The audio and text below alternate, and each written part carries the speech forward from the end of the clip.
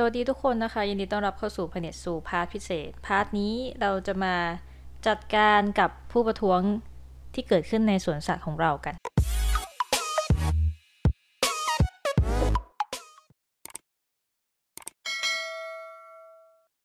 นี่นะคะ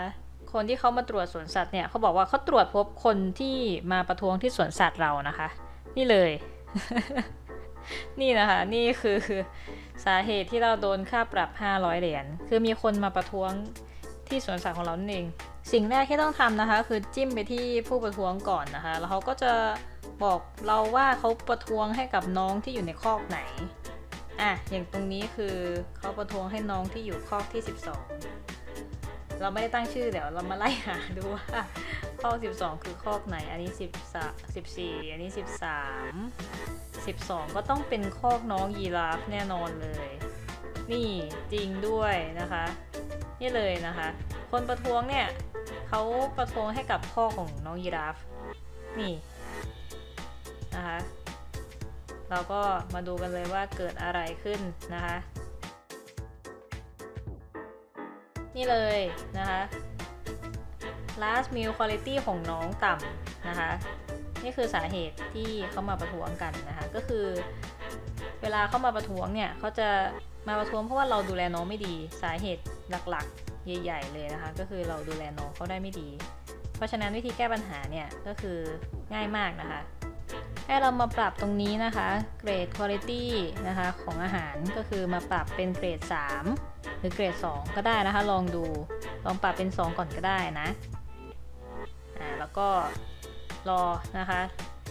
เรียก keeper มาให้อาหารน้องนะคะ โอเค ตอนนี้สถานะของน้องนะคะ เขียวทุกอันแล้วเห็นไหมเนี่ยปรับ last meal quality ขึ้นมา น้องก็จะ happy มากขึ้นนะคะ นี่ตรงนี้คือ happy แล้ว ตอนนี้เราปรับ food quality เป็น 3 นะ อ่า เห็นไหมคะ ตรงนี้ยังเป็น 3 อยู่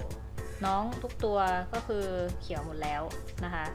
ไล่ดูได้เขียวหมดเลย พอน้องเขียวครบทุกตัวแล้วนะคะ แต่ว่าผู้ประท้วงเนี่ยเขายังไม่ยอมออกไปหรือว่ายังไม่หายไปแล้วให้เรากด save นะคะ กด save ไว้ แล้วก็เข้าไปที่เมนูเกมใหม่ เดี๋ยวพอกลับออกมาเนี่ย คนประท้วงเขาจะหายไปแล้ว เพราะว่าน้องของเราทุกตัวนะคะ เขียวหมดทุกตัวแล้ว นี่เลยนะคะเซฟเกมไว้แล้วก็เข้ามาใหม่ คนประท้วงคือคือหายไปแล้ว ตรงนี้ไม่มีแล้วนะคะ แล้วก็ที่เคยยืนประท้วงกันอยู่ที่ข้างคอกก็ไม่มีแล้วนะคะ หายไปหมดแล้ว สรุปเลยนะคะหลักๆก็คือเช็คดูว่าน้องเขามีสุขภาพที่ดีไหม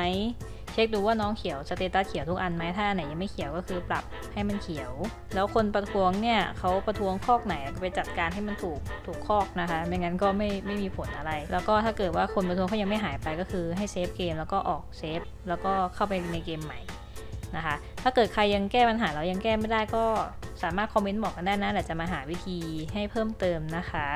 สำหรับวันนี้ขอบคุณมากนะคะสำหรับทุกคนที่ติดตามแล้วก็